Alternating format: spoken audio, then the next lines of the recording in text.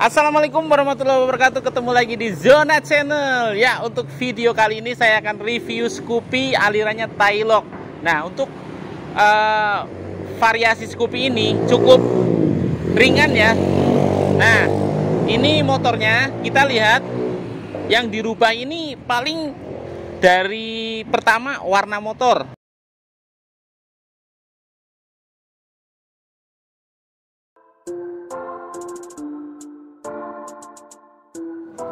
Oke, kita akan review dari depan.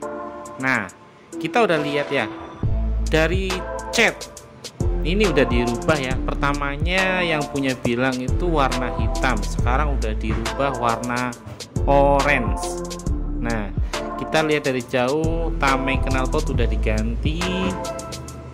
Velgnya juga udah jari-jari dan bannya udah pakai ban kecil. Jadi modifikasi ini modifikasi tie lock nah untuk warna lampu belakang masih standar. Strippingnya diganti warna transparan. Nah depan sampai belakang warna transparan. Jalur asnya udah diganti. Osennya nah ini udah dipasangin juga ya karet handle. Ini cukup murah harganya 15.000 itu udah kanan kiri. Hand gripnya sudah diganti pakai punya ya ini sih punya apa aja bisa cuman mereknya merek domino ya. Nah untuk velg kita lihat dia velg dua warna perpaduan warna kuning sama silver. Nah untuk spionnya spionnya masih standar cuman dicat warna oranye saja ya. Piringannya masih standar. Nah standar sampingnya udah diganti warna chrome standar duanya eh, standar duanya juga warna chrome. Nah ini shockbreakernya udah diganti juga yang tabung. Nah kita bisa lihat ya modifikasinya itu sederhana sekali tapi terlihat menarik gitu loh.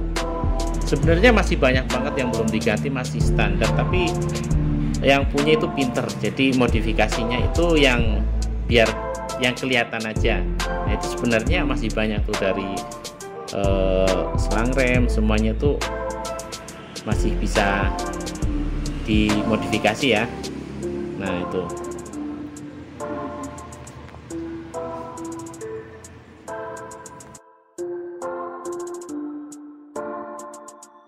Nah untuk aksesoris yang dipakai yang pertama hand grip dia udah diganti. Terus karet stang. Terus jalur as dan velg kuning ini udah diganti juga ya jadi untuk aliran tie lock ini berarti ringnya 17 nah seperti motor ini. Ini alirannya tie lock ya. Nah terus ini gantungan barangnya udah diganti yang tuton tameng. Nah ini begini aja udah lumayan cukup keren ya jadi untuk modifikasi seperti ini nggak nggak banyak dirubah, hanya merubah cat sama tambahin aksesoris sedikit.